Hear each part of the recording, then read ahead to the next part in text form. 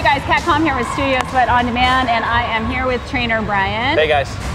And recently, trainer Brian had an injury. I did. Mm-hmm. Yeah. And sometimes we get questions about whether or not you should train with an injury. And I know this might be a boring answer and a simple answer, but sometimes those are the best ones. Mm-hmm. And the answer is it depends. So in my case, uh, I was snowboarding, and I'm not an expert uh, shredder. and uh, I forgot that for a moment. I forgot that I wasn't very good, and I thought I was 20 years younger, and I got a lot of speed, and I thought I'm rocking this. I was a half hour into the first day, and next thing I know, my snowboard's over my head. I got my arm outstretched, which is the worst thing to do when you're gonna wreck on a snowboard. You're supposed to tuck. I did the opposite. I went spread eagle. Superman. Superman, and the first thing to hit was my rib cage, and uh, it felt really awful uh, to the point where somebody, you know, kind of swished up next to me and said, "Are you all right, dude?" So. Um, oh, I thought it was like a 70 year old woman. What's that? I thought it no. no, sorry. No. Okay, I thought it was. No. Uh, but anyway, uh, so I wasn't quite all right. In my and, version, it was like yeah. a little old lady, like on her yeah. skis, like on her ski walker. Are you okay? no. Okay. Anyways. Anyway. Um, no, and I wasn't all right. And as it turns out, uh, I fractured a, a few ribs. Uh, so I, I did uh, continue to snowboard for the next couple of days uh, in snowshoe maybe not the smartest thing, but I didn't really know how injured I was until the following week. Got it checked out, and uh, turns out I did have fractured ribs. And my first question was, well, what about working out? And the textbook answer was, you shouldn't do anything for two weeks, and it's going to take six weeks to heal, and you need to do it right, or you're going to take set yourself back. Now, should I have just listened to that verbatim? Your your opinion? You, I guess I'm here, so I have to give my opinion. Yeah. But I, I here's the thing. Here's the thing. okay. So all I hear this all the time. People will come in to me and they'll say, "Hey, Kat, my my doctor said that I can't work out for same thing, like 6 weeks." And I'll be like, "But you hurt your elbow. Like right. why can't you why did your doctor tell you you can't work out because you tapped your elbow? like does that mean you can't do a lunge or a squat or why couldn't you jog? Like, you know, and, right. and granted, I'm on this, I'm one of those moms that's like, oh, you're fine, come on, let's go, you know. Yeah. So I'm gonna say that. But oftentimes, doctors will be very conservative and they'll tell you you can't work out at all when you injure one part of your body that does not affect the other. Now, I'm always going to suggest yeah. that you check with your doctor but we're also going to give you the freedom to question your doctor on why if they tell you you can't work out at all. Seriously ask, what's the risk?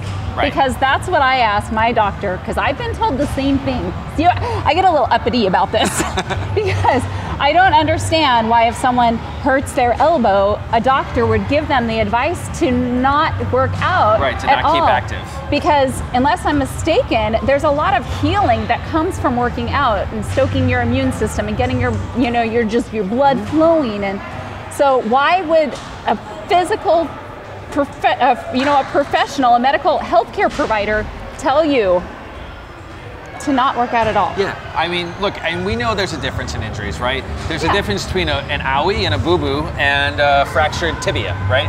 Sure. But if you got a boo-boo, suck it up, Buttercup. If you got something in between, like Kat said, ask what you can do. Yeah. So, what are the risks? What are the risks? So now, my, if they tell you, yeah. Sorry, I touched the mic. I know right. that's bad. If they tell you, it, honestly, like this one time I was like, what are the risks? And the doctor said blindness. And I went, I guess I'm not working out. Like, right. I mean, that's a serious risk, sure. right? And so, and, and the reason was because if you get your blood, uh, if you get your heart rate over a certain level, um, and your blood pressure goes up, it can, you know, cause certain impacts, this or that. Okay, fair enough. Fair enough, touche. However, that's often not the case. You won't know unless you ask. So don't just take like the easy road. Oh, doctor said I couldn't work out. I guess it's I like can't. When, when women get pregnant, oh, guess I should eat this gallon ice cream. All right, I'm gonna do it. no, no, no, no, no, and no. So in my case, I happen to know the physician who examined me, and he said, "Look, my textbook answer is don't do anything for two weeks. I know you're not gonna do that. So here's my advice: do things that don't hurt." He said your ribs are not Pretty displaced. Advice, yeah. Your ribs are not displaced. You're not going to do any more damage.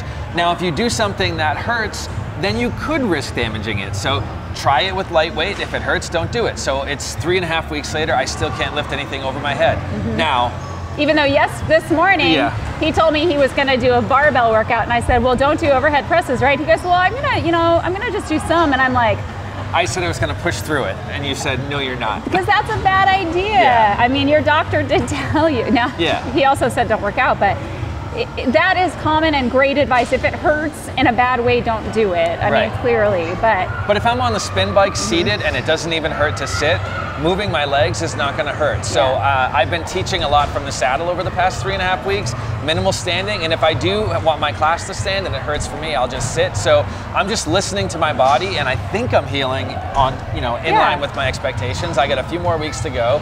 It's gotten a lot better. I haven't damaged it more, and I've worked out. Probably a little bit less than normal, but I'm still getting my activities in four or five days a Yeah, week. why and I completely still- stop? Exactly. There's got to be some middle ground. It can't be binary yes or no. So Yeah, that's that's our opinions, okay? That's Yeah. just our opinions. I'm actually interested in hearing your opinions, and I would like to hear if you are one of those people who a doctor has told, or, or a healthcare provider, okay, not just a doctor, a healthcare provider has said don't work out when maybe that wasn't the best answer, but it was the textbook answer. And I'd also, on the flip side, love to hear from any healthcare providers out there that want to give me their opinion on this subject as well, even if it doesn't match mine. It's Right. okay. It's okay. So So non-Dr. Brian, non-Dr. Kat. That's, that's us. us. Okay. But this You're is how you. we feel about it. but question Right. question it when And- you're told something like that. Don't just accept that answer. And by the way, it. the reason we're saying this is not because we want you to get hurt or more injured. It's because we want you to stay healthy. Right. You've worked so hard to get to, for, to where you are. You've Yeah. developed your routine. Fitness is part of your life. So to just stop that dead when there might be other alternatives is just the thing that we want you to think about. Yeah, exactly. For those body sculpting, fat torching, non injury making workouts, make sure you check out Studio Sweat on Demand.